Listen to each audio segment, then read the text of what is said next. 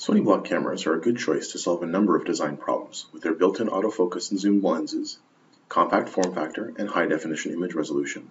But systems manufacturers often struggle with integrating these block cameras into the systems they are designing.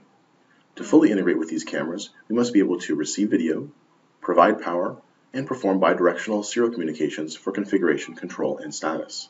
The deepest level of integration is to create a customized circuit board which receives digital video via LVDS and also provides power and serial communications. This circuit board would receive the video, process it, display it, or both.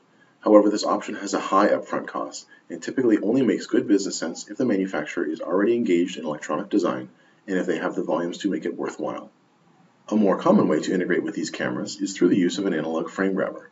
While this option provides low upfront cost and quick time to market, it suffers in two major areas.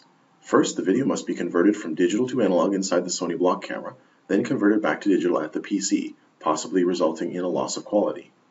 Second, separate cables are needed for video, power, and configuration. Similarly, there are a number of devices on the market which allow video to be transmitted from Sony block cameras over coax cable or over HDMI, but they too typically require either additional cabling for power and configuration or require that a frame grabber be inserted into a desktop PC.